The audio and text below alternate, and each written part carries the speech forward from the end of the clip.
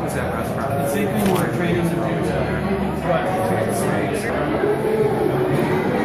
Okay, this is a trained bird that grabs money and puts it in a box.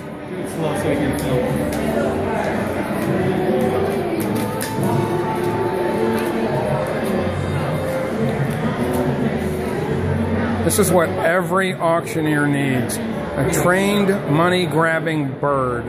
I love it. Now what is he? His is Lenore. Lenore. He's a white-necked raven. This species is from Africa. And some of the interesting things about her training is they all like to stick their tail in the hole area first and drop everything on the floor. So it takes a while to shape them to get them to be able to fold it up and put it in the slot. That is great.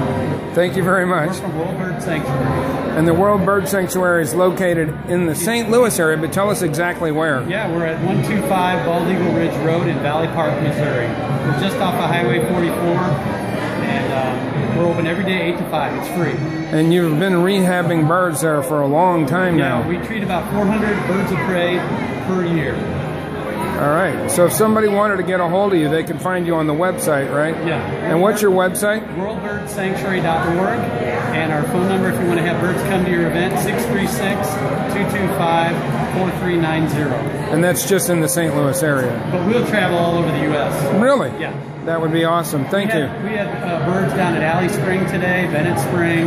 We were in Jeff City last week. We were in Mexico, Missouri.